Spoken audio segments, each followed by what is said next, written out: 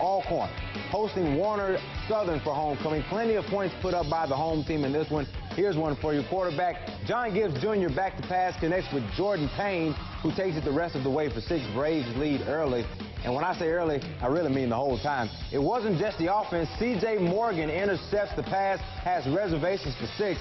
ASU pouring it on. Alcorn wins big for their homecoming, 57 to nothing. That final.